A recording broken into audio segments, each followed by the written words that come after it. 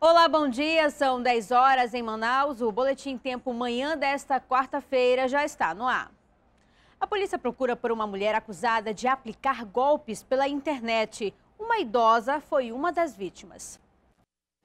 Dona Creuza guardou parte do dinheiro da aposentadoria para comprar uma casa.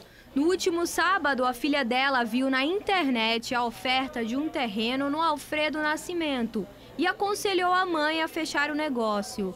Ela então foi ao banco sacar o dinheiro. Conferiu tudo 20 mil e trouxe.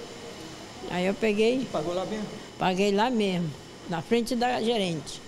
Paguei para ela. Aí eu assinei, a moça me deu o papelzinho para me assinar, né? Aí eu assinei, eu digo, tá muito bem, muito obrigada, aí nós saímos. Mas a família caiu no golpe aplicado por Daiane Ferreira de Souza, que se apresentava como Patrícia e vendia terrenos de terceiros na zona norte da cidade como se fossem dela.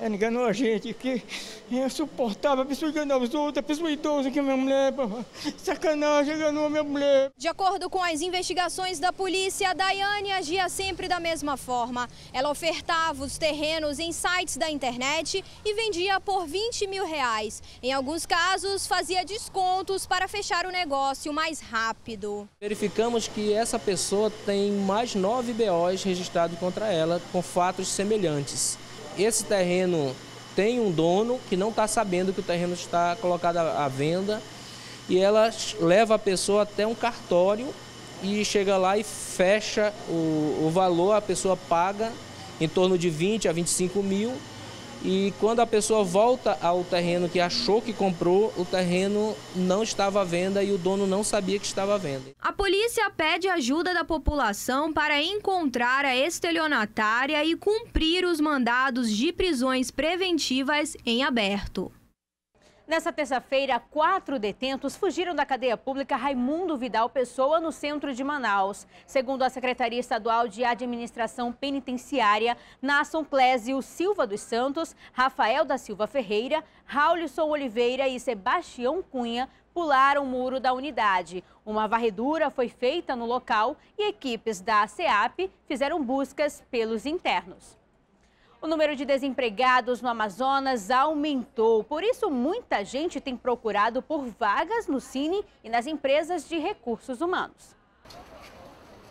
Uma longa fila espalhada por um quarteirão no centro da capital. Mais de mil pessoas passaram por aqui. A maioria com o currículo na mão, cheia de esperança, em busca de emprego. É o que o mercado está oferecendo, tem que aproveitar de qualquer jeito. Não dá para ficar escolhendo muito não, né? Com certeza. Todos vieram porque a Agência de Recursos Humanos divulgou oferta de vagas para o Polo Industrial de Manaus. Alguns dos candidatos foram demitidos ano passado. Estou no seguro, mas estou desesperado. Na última parcela, tá difícil. E a preocupação faz sentido, porque a taxa de desemprego subiu, chegou a 8,2% em fevereiro, segundo o IBGE. É a maior para os meses de fevereiro desde 2009. A procura nos salões de atendimento do Cine por uma vaga também aumentou. O recomendado é fazer o cadastro pela internet, na página do Cine, para evitar perda de tempo. Lá mesmo é possível se candidatar a uma vaga disponível. Nossos serviços são todos gratuitos né? e elas podem estar ofertando as vagas aqui para o Cine, porque nós temos aqui diariamente em torno de 400 pessoas que buscam o nosso serviço. Só no Polo Industrial de Manaus, quase 40 mil trabalhadores foram demitidos em menos de dois anos. Esse índice de desemprego, ele não é um fator somente econômico, né? A gente sabe que é um fator político também, que repercute fortemente na nossa economia e também no, no, nos indicadores sociais. Segundo a Associação Brasileira de RH, as áreas que podem melhorar nos próximos anos são as relacionadas à tecnologia, administração e previdência. Para este professor de cursinho preparatório, a crise pode ser uma boa oportunidade para quem quer passar em um concurso. A aprovação pressupõe um trabalho a longo prazo, fazer um, um português básico, fazer uma matemática básica, pegar os fundamentos das matérias é, específicas para com o edital eu poder é, é, ter assim, uma base maior e ir para o concurso com mais segurança. E como tudo ainda é meio incerto para quem procura emprego, alguns jovens também passaram a se dedicar a concursos. não só para ter estabilidade, mas também fugir da crise. Está valendo bastante estudar, até porque servidor público é uma estabilidade permanente. Então, diferente de emprego de, de função pública, é para sempre um concurso público desse. É, mas como o dinheiro anda curto para pagar um cursinho, estudar em casa pode ser uma boa opção. O TRE prorrogou até o dia 4 de maio o prazo para o cadastramento biométrico. Cerca de 100 mil eleitores ainda não fizeram o cadastro. Dona Suzana tem 71 anos. Para ela, o voto é facultativo, mas fez questão de fazer a biometria. Esperar o dia e a hora, né? A Rosângela já tinha tentado uma vez e só conseguiu hoje. Eu fui com um comprovante de outro, de outro proprietário. Aí mandaram retornar para que eu possa procurar uma declaração, declarando que eu residia no endereço e tal. Né? E por conta disso eu perdi a vez. Eu tive que reagendar e agora estou aqui novamente. O cadastramento biométrico de 1 milhão e 254 mil eleitores de Manaus começou ano passado e já deveria ter terminado, mas nem todos fizeram. O prazo final para o cadastramento biométrico vai até o dia 4 de maio. E há pouco mais de um mês para o encerramento, mais de 100 mil eleitores não se cadastraram. Até agora foram revisados os dados de 1 milhão e 100 mil eleitores. A gente já atingiu em torno de 92% desses eleitores já foram atendidos aqui no TRE. E os demais a gente está aguardando. Nossa média de atendimento diário é em torno de 8 mil pessoas por dia dividida nos 10 postos. O agendamento é feito toda terça-feira à noite no site do TRE. No dia marcado é preciso levar documento com foto e comprovante de residência. Quem perder o prazo vai ter o título cancelado. A exposição internacional Transformers chega a Manaus. Os gigantes de aço estão expostos em um shopping da zona norte da capital.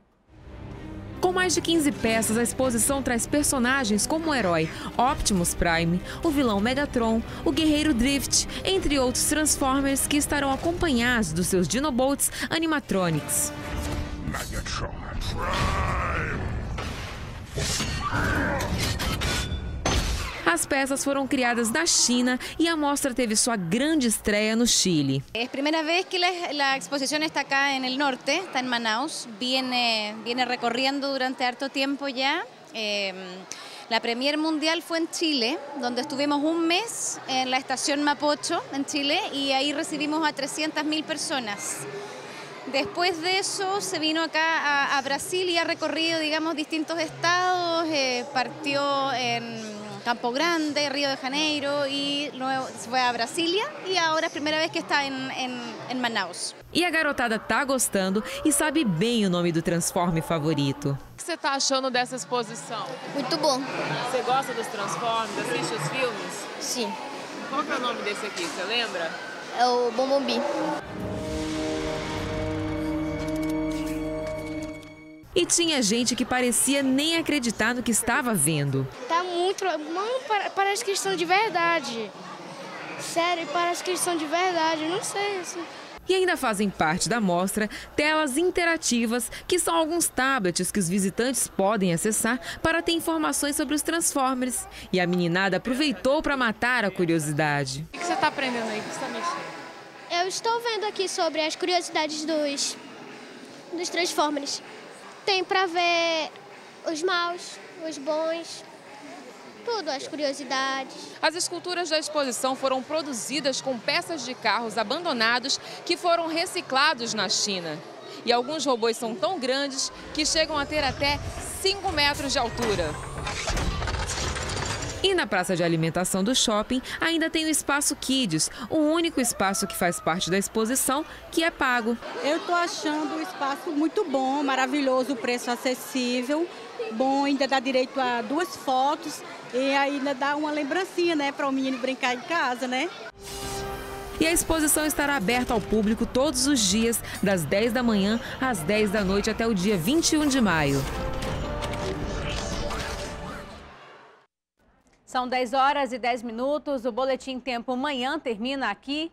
Outras informações você acompanha daqui a pouco às 10h50 no programa Agora. Muito obrigada pela audiência e até amanhã.